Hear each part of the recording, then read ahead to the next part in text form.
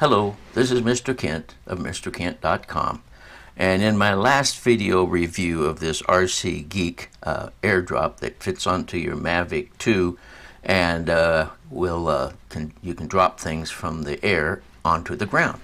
And uh, I won't go out into all the details, but I wanted to be able to hook onto something on a roof and then uh, get it off the roof but I also wanted a quick release, which why I bought this, so that if the hook got caught under a tile on the roof, then I would uh, I would be able to release the, the hook and keep my Mavic. I didn't want my Mavic dying on top of a roof. So I bought this, and uh, this is the this is the uh, the mechanism, and uh, I'll put links to my other reviews so that you can look at them. Because each time I thought I had it figured out and uh, it just didn't. It, it, would always fail. What would happen is uh, this this connects to the uh, headlights, the red lights on the front legs of the drone. This connects to those, and then when the lights are on, I can't remember it's one of the way or the other. When the lights are on, this is closed. When the lights are off, that's open. Excuse me. And then of course you control it with your with your settings um, in the in the uh, in the uh, app. All right, so now what I did originally, I couldn't get this thing to work because it was like it would jam when I would hook things to it. And, uh, you know, they send you a piece of string. And uh, so I tried, it, it, their string was made, was cotton, and cotton binds on stuff. So then I, I bought, uh, or I bought, I uh, used some of my uh, uh, nylon string, okay, to loop around that thing. Let me show you how it works because I can do it without having the drone connected we'll just turn it on. Now when I turn it on, uh, we'll just see what it does here. Okay, now that's it's the, the, the sensor, which is right here. So I just I just turned off the light. Okay, so the sensor picks up those lights, and the sensor works great. If I if the the lights are on now, so if I turn the lights off, then it closes. If I turn the lights on, it opens. Okay.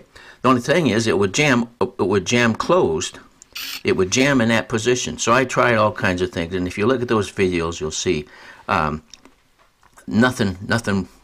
I when it when it came right down to it, I couldn't depend on this thing opening up. Uh, so I decided, okay, uh, you know, I kept trying everything. I uh, I won't go into the details. Watch the other videos. And but one of the things that I did, let's see if we can get everything out of the way here. One of the things that I did was I replaced the little rubber or plastic uh, thing that the string was supposed to run through. It comes down this side. I replaced it with uh, a, a, ring because uh, the string was actually binding up on the, on these things. So I replaced that with a ring. Of course, you have to solder and all that kind of stuff. So uh, that you know that uh, uh, that helped a little bit because then it wouldn't jam there. All right, I'm going to turn this thing off and we'll put it on the drone. All right, just turn that off. Okay.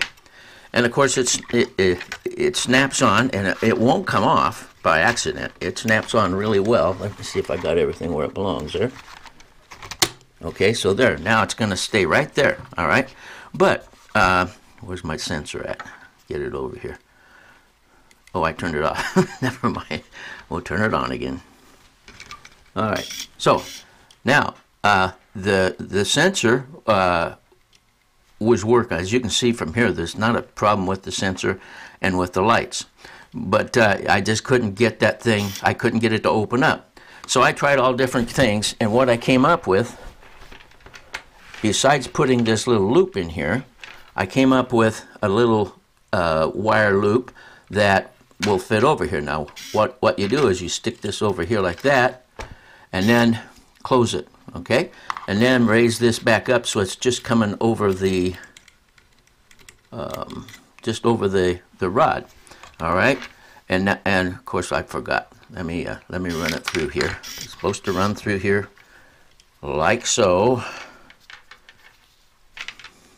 See, the thing is, if you buy this thing and you can't solder stuff up and uh, do do these kind of things, uh, it's worthless. So let me get, now let me close it now, okay? oh, wait a minute.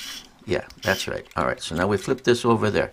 And now, uh, when you take off, it's hanging on that, okay? Now, before, when I would release this thing, the string would bind and everything else would go wrong. I mean, I just, it look, I'd have to hit the switch about three or four times, and you can see in one of my videos that it just, it just hung there and hung there. But now, I'll put, I can put a lot of pressure or just a little bit of pressure. When I let up on that thing, he goes. That fast, that easy, and it goes on through the hole. So, we'll turn this off because he's working his heart out. So, uh, final decision. you have to have some metal around this thing instead of string, and uh, and metal doesn't have any binding effect, and it just pops right off. Uh, and uh, that that's one of the things. But what happens is the string, if I can get it here, the string has enough binding effect that, it, that this servo is too weak to pull that back. But the metal uh, doesn't have any binding effect, so the servo is free to just pull itself back. The problem was is the, the servo is too weak for putting any weight on that unless you use a metal clip of some kind. And you can make your own clip of anything. But uh, anyway, that's how I solved it, and it, and it works now just like it was supposed to when I ordered it. But it took a long time and about two weeks of experimenting until I finally came up with that solution. So that's the RC Geek airdrop, and uh, it, I wouldn't I wouldn't advise getting one if you don't have all the little tools that I showed you the things I did. But if you have those tools and make a make a little metal loop, uh, then it'll work. Of course, if you make this loop, you've got to make a loop like that because this won't go through their little plastic, black plastic things. All right, that's enough of that. I'm all through reviewing this thing. Uh, it's not a bad product. You just have to fool with it until you get it right. And by the way, I put this all back like it was uh, when I got it because the problem wasn't that where this thing was located, it was the binding effect. And also, I put graphite on there. All right. That's enough. Thank you for watching, and God bless.